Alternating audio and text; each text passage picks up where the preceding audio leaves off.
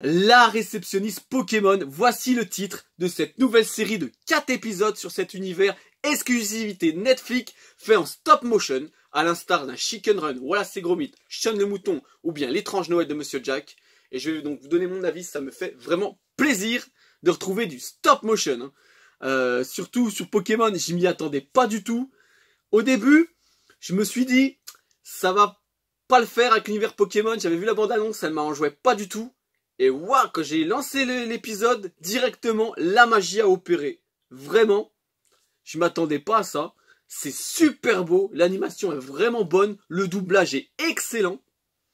Je m'attendais pas. Et donc, pour les personnages humains, ils ont utilisé euh, l'argile, la pâte à modeler. Et pour les Pokémon, ils ont utilisé euh, vraiment une texture un peu peluche. Et ça rend tout de suite mignon et on voit tout de suite la différence. Et cette différence, elle apporte un charme vraiment sérieux à, cette série, hein, franchement. Après, je vais vous dire, déjà, 4 épisodes, j'ai pas trop compris le délire. Pourquoi 4 épisodes? Pourquoi pas plus?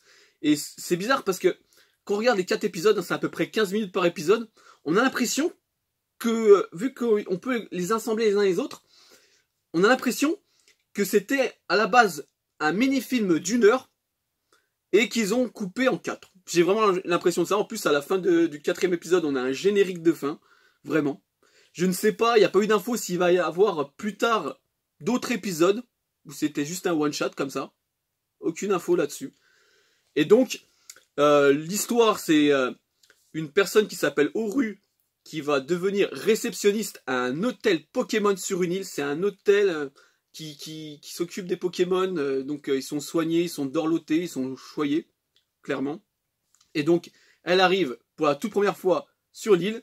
Et donc, elle va découvrir euh, l'île et tous les Pokémon euh, qu'il y a autour. Donc il y a à peu près une trentaine de Pokémon qu'on voit.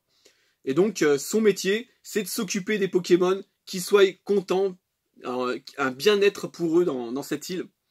Et donc dans, les quatre épisodes, on va la voir devenir vraiment perfectionner son, son, nouveau métier. Et bon, on va pas se mentir, c'est plus pour les tout petits. Hein. C'est vraiment plus pour les tout petits. Franchement, pour les tout petits, c'est parfait. Et franchement, si vous avez des tout petits, mettez-leur ce dessin animé parce qu'il est super. C'est vraiment, euh, je pense, de 3 ans jusqu'à 12 ans. Après, plus, tu vois, c'est... De toute façon, après, il n'y a que 4 épisodes. Tu les regardes, tu te fais plaisir parce que, comme je le dis, visuellement, c'est super.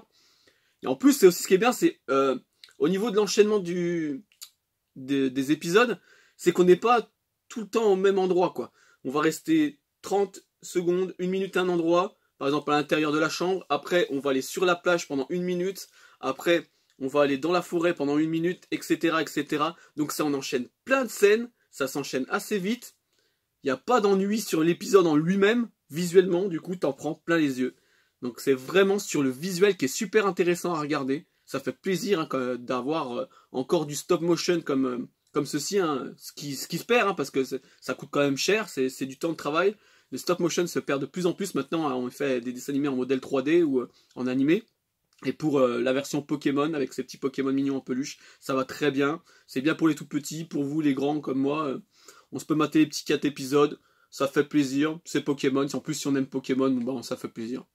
Donc voilà, franchement, une bonne note. Si je mettrais une note, bah, pour dire pour série tout petit, s'il y a une note à mettre pour série tout petit, je lui mettrais un, un bon 17, on va dire peut-être plus un 16 parce que ouais, le gros problème c'est que bah, y a que 4 épisodes quoi. Donc bon, je pense qu'après vue, on peut un peu oublier.